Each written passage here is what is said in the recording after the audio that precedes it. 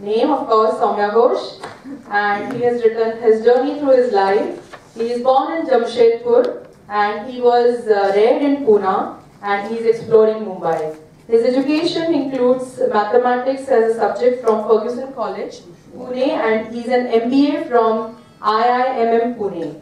He has worked with companies like Lupin, ICICI, Pru AMC, ICICI Bank, Dhanalakshmi Bank, Kotak Bank, HDFC Bank, and his experience is for the past 15 years in the banking industry and the financial industry.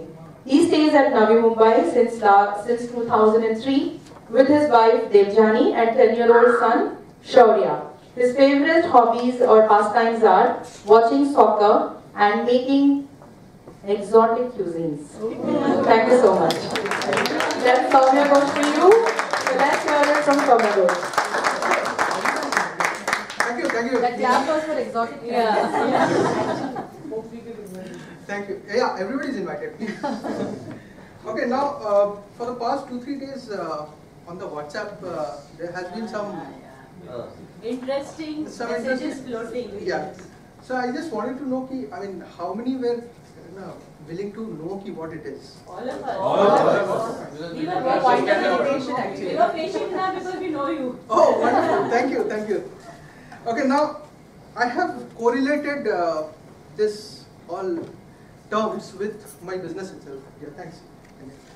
Uh, now, what happens is that you start up a business, you grow it, uh, you have success, failures, whatever, and still, if you persist on that business and you have that conviction, then it definitely pays you off.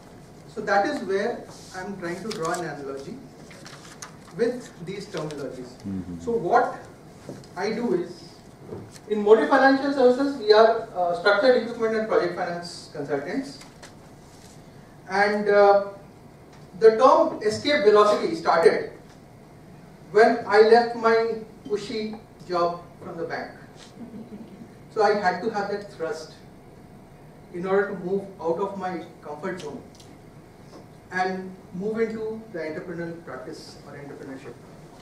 So that is what I wanted to correlate as the escape velocity which we all want to come out of our comfort zones and start something new. Theoretically, the definition is that you need to move out of the gravitational pull of the earth in order to be floating in the orbit. And practical implications is to push yourself beyond the limits of imagination in order to obtain an unimaginable no, world itself. the practice is that my will to start my own venture four years back.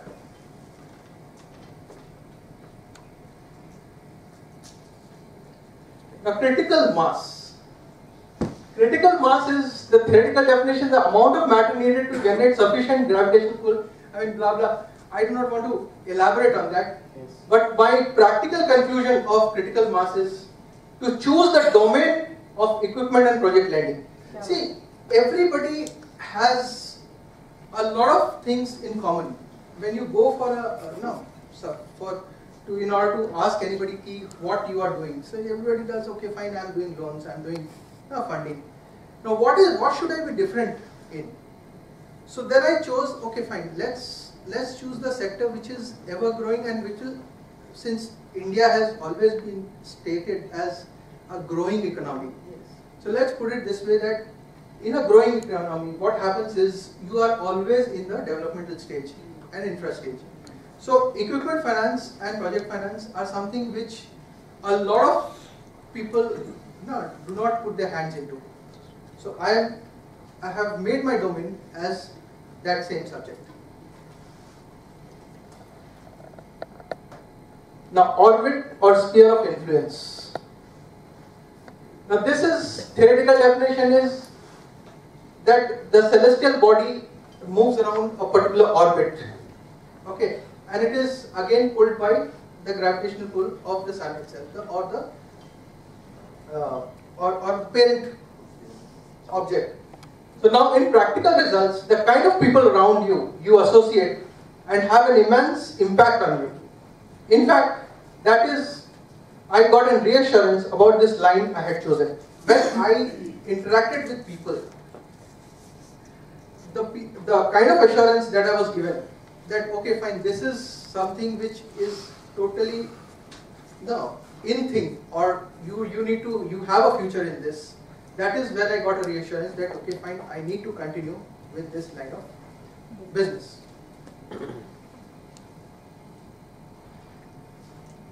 Total internal reflection. Now when I have already grown my business, I need to reflect upon it. I need to see, I need to check out whether I am doing right or wrong. and then I then I reiterated my convictions in this business when I got a full belief that okay fine I am pursuing the right course of action and I will be going ahead with it. Now this is spectrum of diversity. Here I do not have any theoretical and practical uh, no, definitions. Here the beauty about this uh, no this topic is that when I'm doing this business I have come across a lot of diverse people and in order to deal with diverse people I gain a lot of experience because every individual and every case is different from each other.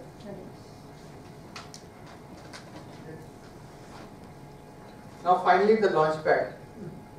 Well, I had a lot of, before, I mean, before also, uh, when I started four years back, that was definitely a launch pad. But BNI has been the best launch pad till date. Can for Inesh as a team. Yeah. Yeah.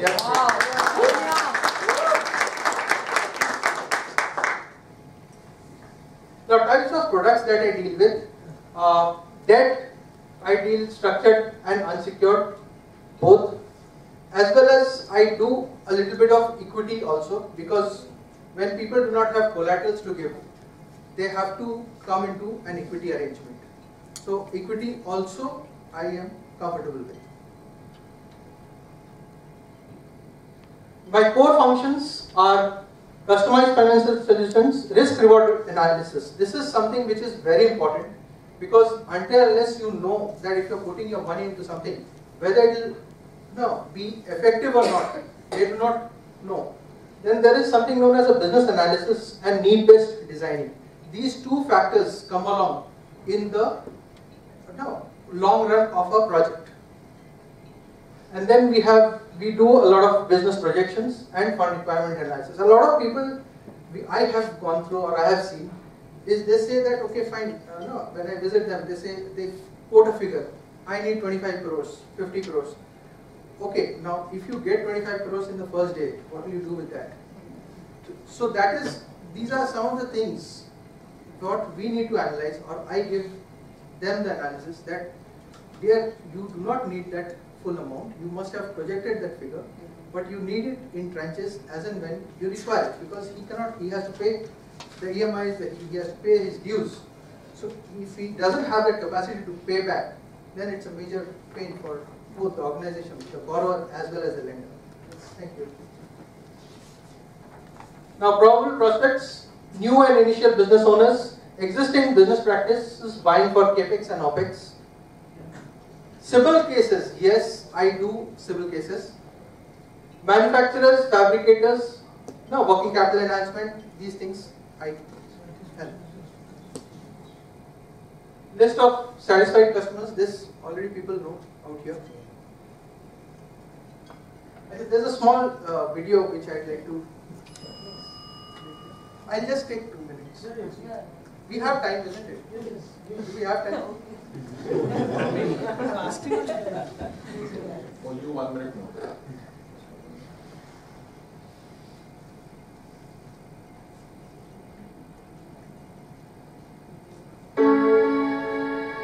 See this video? I'll take it. This small baby calf has fallen into a ditch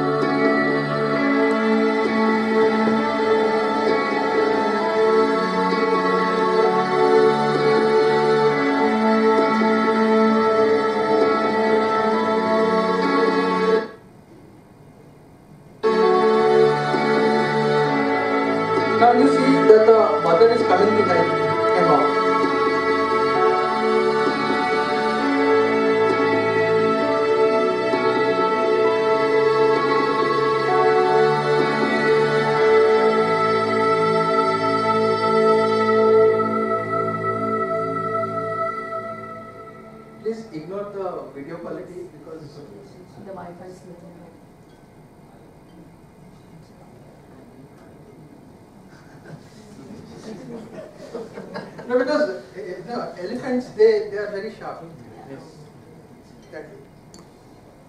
Now see, what I wanted to draw out here is there is persistency. Here you do any kind of job. If there is no persistency in that job, then you are you you'll fall into that ditch only and you cannot come out. There will definitely be a help around and but you need to be persistent in your activity in your own line of business. Thank you. I'm going to allow only one question, a quick one, Yeah, yeah. because we've already uh, delayed. Yeah, yeah, sure, sure, sure. Please. Anybody for a question? Any questions? I have spot referral. All right, referrals and referral section. Yeah, Kavita? I have a question. So, Yeah, uh, uh, you know, the type of industry you cater your uh, loans to. So, ours is a, a financial services industry. Do you also cater to uh, loans in that kind of a category? Yes, we cater to loans in that type of a category, but in a larger scale, in a big. uh, The scale has to be a little higher up. I mean, anything above 10 CR and above. All So, right. I'm willing to take a 10 CR as long as you give me. Thank you so much. Thank you, uh, I have- Anjan Yeah, yeah, and uh, Rajiv has a. Rajiv has a question. All right. Saumya, Quick uh, suppose, you know, many people looking for equipment loan. Yes, yes. But the problem is that either they don't have, you know, strong background of, you know, accounting, bank or collaterals and all. Yes. How do you manage that? Because many of my customers need it actually. See, we, we do a uh, risk-based analysis. What is the type of project? What is his future projections that he is doing? Okay. We, we, we help them out in that and we guide ki whether that project will be feasible or not. Whether he, see, main thing is when I'm giving a loan, I have to take it back. Or any, any new company, any new company can also offer it. Any new startup or company can also offer it. Any Come again? any Startup? startup company Yeah, in a startup company, there we have to know the background of the people who are starting it up. Okay. Yeah, Manish uh, sir Yeah, has a question. Manish. I was, what Rajiv is telling in continuity of that, see, I was starting the same business. Yes, yes. I don't have any strong background, for example. Okay. Okay. But if I get a business Uh. from a strong client, Yeah. like if I get a business from Reliance. Work orders, you are talking from of work orders. work orders. Yes, In yes. that way, It, we it, it can be done. Work order It based, can it be can be done. Yes. Thank you so much.